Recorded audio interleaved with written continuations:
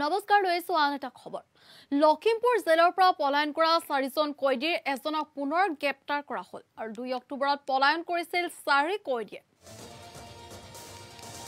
আমি এই মুহূৰ্তত জনাইছো এটা গুৰুত্বপূৰ্ণ খবৰ।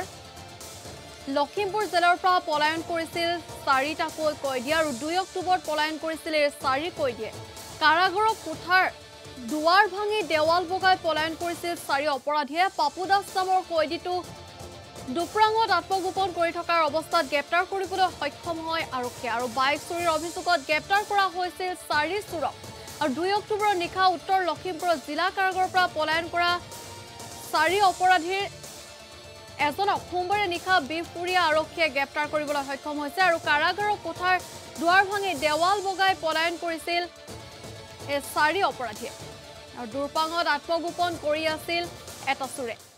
আৰু ইয়াৰ পাছতে আৰক্ষীয়ে আটক কৰিবলৈ সক্ষম হৈছে চুৰটোক আৰু বিহপুৰীয়া আৰক্ষী থানাৰ ভাৰপ্ৰাপ্ত আৰক্ষী বিষয়া হিৰণ্য পাটৰৰ নেতৃত্বত চলা অভিযানত চুৰটোক গ্ৰেপ্তাৰ কৰিবলৈ সক্ষম হয়। আৰু উল্লেখযোগ্য যে বিছ জুনত মটৰ চাইকেল চোৰ পাপুক বিহপুৰীয়া আৰক্ষীয়ে গ্ৰেপ্তাৰ কৰি জেললৈ প্ৰেৰণ কৰিছিল আৰু ইয়াৰ পাছতে জেলৰ পৰা দুই অক্টোবৰত পলায়ন কৰিছিল চাৰি অপৰাধীয়ে। আৰু আজি পুনৰ চুৰ কৰা মটৰ চাইকেল চুৰ কৰা পাপুক গ্ৰেপ্তাৰ কৰিবলৈ সক্ষম হয় আৰক্ষীয়ে। আৰু লখিমপুৰৰ পৰা আমালৈ বাতৰি প্ৰেৰণ কৰিছে ৰাজু বৰাই।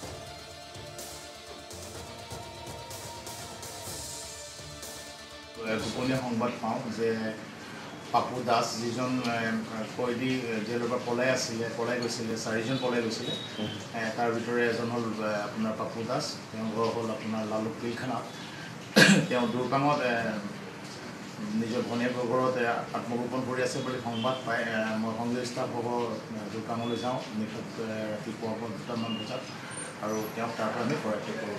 তেওঁলোকে মটৰচাইকেল চুৰ কৰা এতিয়ালৈ সংসূত্ৰ পোৱা নাই। আৰু আমি এতিয়া যিহেতু লখিমপুৰ থানাত তেওঁৰ বিৰুদ্ধে এটা ৰুজু হৈ আছে তেওঁক আমি লখিমপুৰ থানাত হেণ্ডঅভাৰ কৰিবলৈ আৰু এই তদন্ত কৰিবলৈ যথেষ্ট থাকিলোঁ।